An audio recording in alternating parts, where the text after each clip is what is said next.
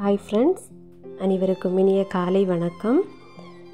இன்றைக்கி நான் என்ன டிஷ் செய்து செய்ய போகிறேன்னா புட்டு செய்யலான்னு இருக்கேன். ஸோ இது வந்து எங்கள் ஊரில் வந்து ரொம்ப ஃபேமஸ் எல்லா மோஸ்ட்லி எல்லா வீட்லேயுமே வந்து பிரேக்ஃபாஸ்ட் இது ரெடி பண்ணுவாங்க.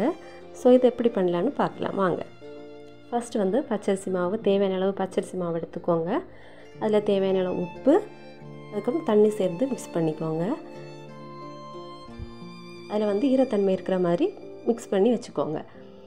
அதுக்கப்புறம் அந்த புட்டு செய்கிறதுக்கு புட்டு குழல் இரு எடுத்து தண்ணி ஊற்றி ஸ்டீம் பண்ண ஆரம்பிங்க.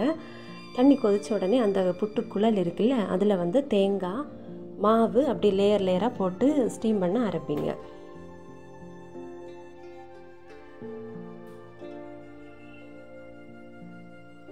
ஆரம்பித்து ஒரு ஃபைவ் மினிட்ஸ்லேயே அதில் வந்து ஸ்டீம் வர ஆரம்பிக்கும். ஸ்டீம் வந்ததுக்கப்புறம் நீங்கள் அதை எடுத்து வந்து சர்வ் பண்ணிக்கலாம்.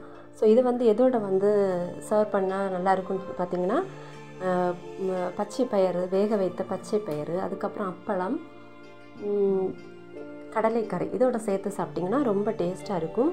ஸோ எல்லாருமே வந்து ட்ரை பண்ணி பாருங்கள் ஃப்ரெண்ட்ஸ் பிடிச்சிருந்தா லைக் பண்ணுங்கள் கமெண்ட் பண்ணுங்கள் ஷேர் பண்ணுங்கள் சப்ஸ்கிரைப் பண்ணுங்கள் தேங்க்யூ ஸோ மச் ஃப்ரெண்ட்ஸ்